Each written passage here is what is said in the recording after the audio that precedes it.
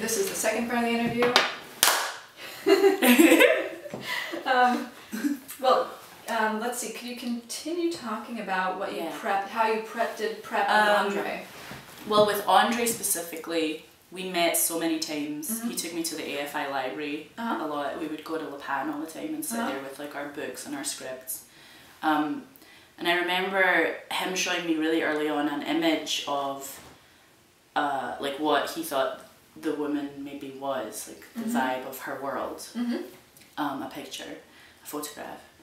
And I looked at it and it was really dark and she was really like dark. Uh huh. And it was really kind of like gross. There was something about it that was kind of like seedy. Uh huh. Um, and I was like, no, that's not her world. Her world is like more this image. And then I showed Mhm. him a picture of a, a, a naked woman who was very well lit in a Mhm. white room. Um, and it was just, there was something about it that was really intimate and beautiful. Mm-hmm. And I was like, this is what we're trying to draw out, you know, from her Huh. and he just instantly got it because he understood like visually um, what I was talking about and that like the sexy in the film isn't exactly like there's nothing gross about it Yeah. there's like an innocence to it Yeah. um, so we just talked about that we talked about how you know I feel like in the script and in the film Jason's character really brings light into her life and Mhm. so the entire film goes from dark into Mhm. a much lighter place it gets Mhm. lighter as the film goes on Mm-hmm. um, because of Jason Mm-hmm. and his character and uh, and it was great you know Andre initially was like shocked that I wanted to shoot everything in wides Yeah. My I whole thing. that. my whole thing Yeah. was like this film's gonna be in And wides master shots. yeah and he was Yeah. like well you need like not to do that and I was like well what do you mean so then we talked about that and thank God for him because uh, if the whole thing had been in wides, I don't think it would have been the film that it became Yeah. um, How did he talk to you about that? What did he exactly Well, say? He was like, you need to cut. You know, you're gonna have Yeah. to cut into stuff. Yeah. You're gonna want to do that. You're gonna want the option of that. yeah. So you're gonna want to have close-ups on people, and Mhm. you're gonna want to have inserts. You know, Mhm. and um, so in my mind, it was sort of color coded. The the the shot list was kind of color coded, like Uh-huh. for every scene, in the sense that I knew that I wanted the wide, Mm-hmm. and if we got the wide, I felt really good about it, and I could like I could I Yeah. could realize like I, I- in the moment I would realize like oh we got it in the wide. So Yeah. We don't it, like if when we were going in for close ups, it was Mhm. nice to get them. Mm-hmm. Um, but like if we needed an insert or something, or Mhm. if that was what we were supposed to shoot, and we were Mhm. running out of time, I could be like let's keep going because I knew that we got it. You Yeah. Know?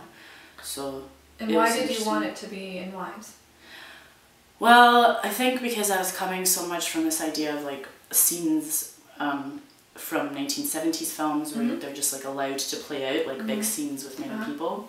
I like that feeling. I like the audience watching like a shot of the entire scene as Yeah. opposed to, you know, being manipulated by Uh-huh. coming in closer. Mm-hmm.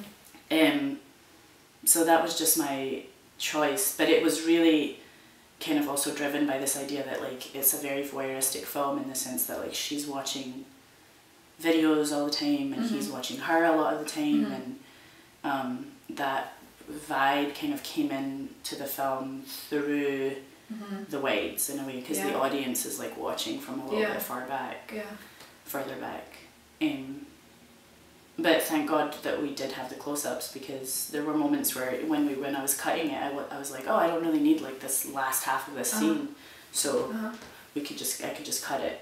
So how did you make that work for you? Or did was there a style in which I don't know if that's the right word, but a way in which you approached using close-ups to work for in the same way that the wides would have, but just in adjusting that vision of Yeah, I mean, well, I guess by by going closer, it, it wasn't like as invasive as I thought it was going to be Okay. initially.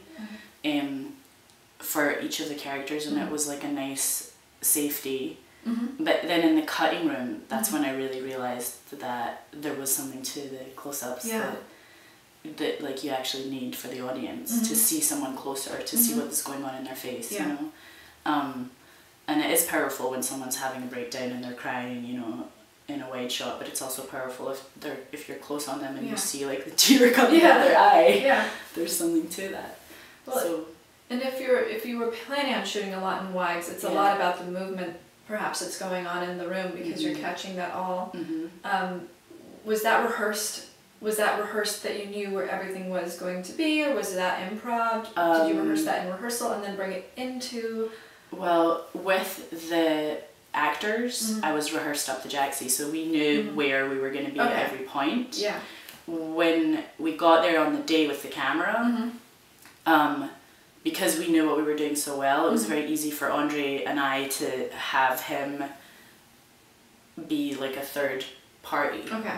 in terms of if it was just Jason and I, then he would be able to put the camera in a specific Mhm. place, and we were able to, you know, we would show him the scene basically, like we would do the scene one time, and then we Mhm. would figure out where the camera needed to be and why, Okay. and then it just became a very simple dance um, that we got really good at, and we were really fast. Yeah. Did you have a shot list or? hmm Okay. Yeah, but But you didn't know exactly how it was going to be framed, or Most just- of the time we knew how it was going to be framed Okay. because you know also a lot of the time with some scenes I did talk to him about like okay well at this part we're over here and he's over Mhm. here and then you know so camera can be over here and we Mhm. talked about that you know but like practically when you get into the room Mhm. it's a, it's a small space and Yeah. sometimes you have to maneuver around to Yeah. make sure that everybody's getting what they need and that it's actually going to be uh, like workable like there's sort of like practical elements that come into Mhm. play when you're not just like drawing it on a piece of paper Yeah. which I did a lot. um, but it was definitely a brilliant way of doing it because everybody felt like they were getting what they needed from it, and Mhm. it wasn't like okay, well something's missing or one person's feeling like they're not, Yeah. you know, it's not working. Yeah. Um. What was my question? I don't know, but I was talking a lot right there. No, no, it was interesting. It was about. Like close-ups. You're talking about It was something to do with. Oh yes. Um. Do you remember what camera you used? Sony F900 And did you use? different lenses. Uh huh. Because I talked to Andre also about how I wanted it to look like a specific um, camera that my mum used to use when Oh, we were growing up, that she still has. Uh huh. My mum calls her Nikon her first child. Oh, She got really? it before she, my sister was born. so it goes the Uh-huh. Nikon, my sister, and then um, that's the order. Um, Is she a photographer or does she shoot? she's a photographer. Okay. I mean, she, uh, she would always, and she had this very specific way of taking a photograph, and Mhm. it was like the way that I wanted the film to look. So I was able Wow. to show Andre a lot of those images and be like, really? Wow. "Can we do this?" And Yeah. like yes. So that was fun. That's so cool. Um, and I like the depth of field that she used, and Uh huh. and that's the depth of field that's basically in good dick, where like we're in focus and Uh-huh. everything else is out of focus. Uh huh. Um, that's just beautiful to me when you can see Mhm. people. Mhm. I, I There's like little highlights behind them. Yeah. That's all I want. Yeah. um, did you guys? Uh, the shoot was seventeen days. Did you guys do any reshoots? Um, no. No. No reshoots. Probably because we didn't have any money, but also because we didn't really. No, we didn't really need them. Yeah. That never really came up. That's amazing. Um, I remember thinking the day we were done, like day eighteen, Mm-hmm. I was sitting at Jason's mom's house and I was in my pajamas and I was watching like TV for Mhm. the first time in like a year, Yeah. and I realized that I got everything that I wanted Uh-huh. from the film. Uh-huh. as a director, like I thought, you know, I had this preconceived notion that I was going to lose a third of it or lose two thirds of it or whatever, Uh-huh. just because it was an indie film. And uh, I realized, like, no, man, like, we got that, we got that, we got it all. We got it all. As you're sitting We there. got it. Please, please tell me about everything. yeah, it's like, all.